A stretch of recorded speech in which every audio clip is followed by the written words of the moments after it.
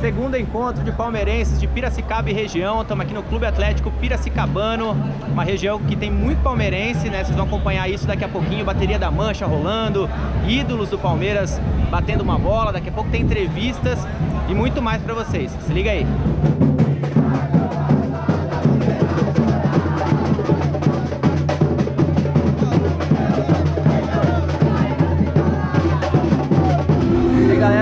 Sintonizada, não importa o que digam, eu tô aqui com a Luísa Palestrina, né? A gente tá no encontro em palmeirense em Piracicaba, né? Fala, torcedores do Palmeiras, quem fala é a Palestrina, eu tô aqui com o Verdão Info, aqui no segundo encontro de palmeirense em Piracicaba. Tá gostando aqui do encontro em palmeirense? Muito. Já tinha vindo em algum outro encontro ou é a primeira vez?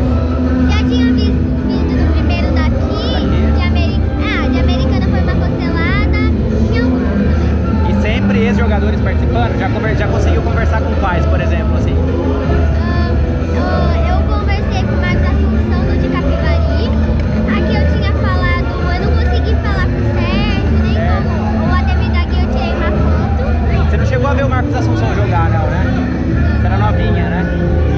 Maior ídolo no Palmeiras?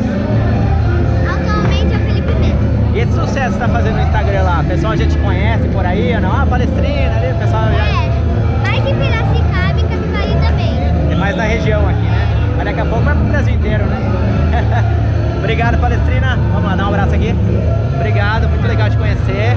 Até mais, né? Vamos curtir agora a feijoada, o sambinha, né? Samba não, samba? mais ou menos.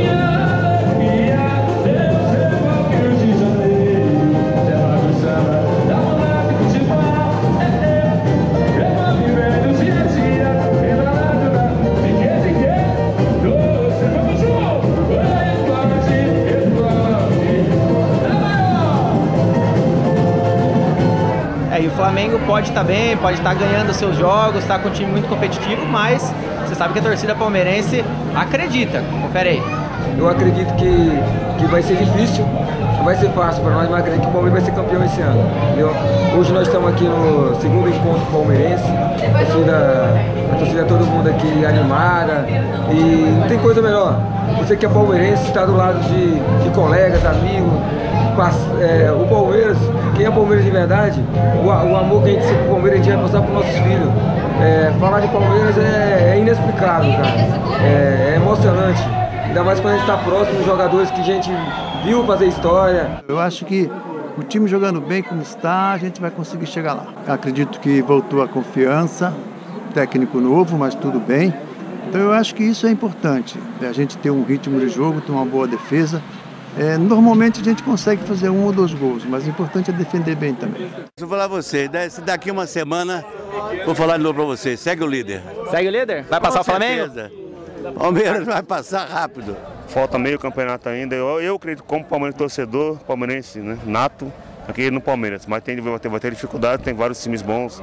O próprio Flamengo, o próprio Grêmio. O Santos tem um plantel reduzido, mas o Santos tem qualidade.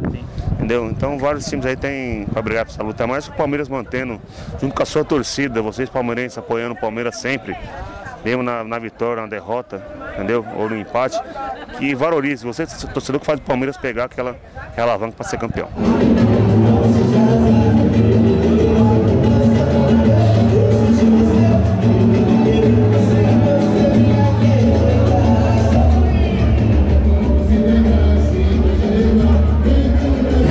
Próxima, galera. Valeu.